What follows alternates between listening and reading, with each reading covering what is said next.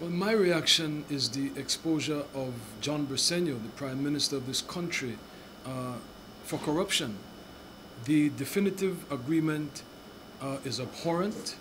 Uh, as the Prime Minister, the former Prime Minister Barrow said, and former AG uh, Senator Peyrefitte uh, have both said, uh, unauthorized, illegal.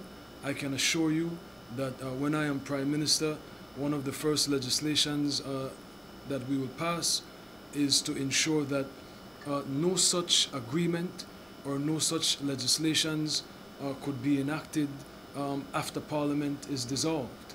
Uh, to me, um, that is unethical. Uh, and the fact that the Prime Minister of this country, who I have long told you, I have long said that Portico was the favored port project.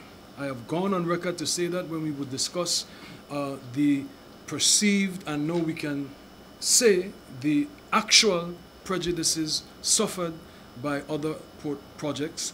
It is clear when we have a prime minister that has his government has cancelled every contract that the UDP has done. Boledo, again, uh, I, I, don't necessarily agree uh, with uh, that contract to begin with, um, but the prime minister, it's a legally binding contract.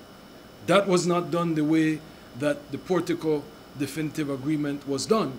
Um, and while I don't agree with the profit sharing that was taking place between government and uh, Brad's Boledo, it is a legally binding contract. They cancel that.